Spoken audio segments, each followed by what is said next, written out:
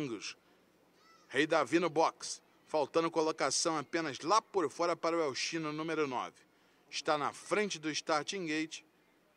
Ele que joga enverga a farda tricolor de Carlos Antônio Platzek. Vai chegando de réu é o Chino.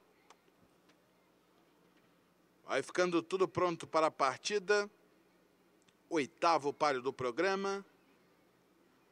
El Chino, Dash Time, Unanimous. Tudo pronto? Talvez agora. Atenção! Foi dada a partida para o oitavo páreo, Dream, Hotel Four Seasons, e lá por fora o El Chino. Vários competidores buscam a primeira. O El Chino lá por fora foi quem tomou a primeira colocação, vai livrando 2 e 3 de vantagem.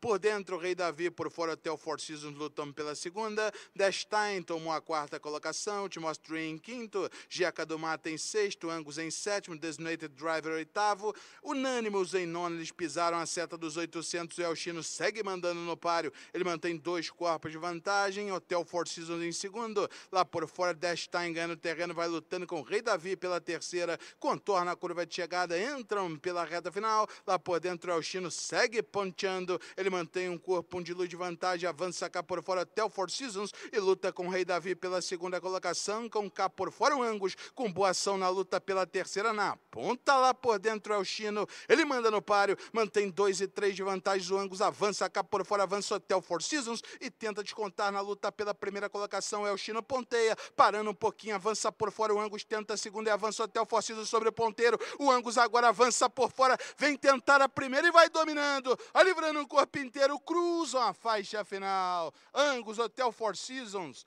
Depois é o Chino unânimos até os demais. Vamos aguardar o placar. Direção milimétrica do Marcelinho Almeida. No número 1, um, Angus. É isso aí, Tiagão. Um rateio final de R$ reais abriu a R$ reais, rateio altíssimo. Te viu